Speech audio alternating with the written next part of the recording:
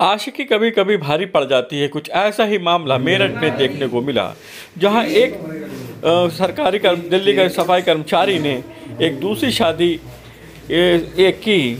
जो कि पहली बीवी होकर रहते हुए दूसरी शादी की, लेकिन दूसरी शादी जिससे की उसका पति भी अपनी पत्नी से नाराज़ था, उसको लेकर उन दोनों के बीच तनातनी थी। आज पहली दूसरी पत्नी के पति ने उसको घर में आकर चाकू से गोद कर उसकी हत्या कर दी और मौके पे अपनी स्कूटी लेकर फरार हो गया। वहीं पुलिस ने उसका पंचनामा भर पोस्ट पोस्टमार्टम के लिए छोड़ दिया है और वहीं पुलिस उस आदमी की पूरी घटना की शिनाख्त हो गई है क्योंकि सब सीसीटीवी कैमरे में रिकॉर्ड हो गया है।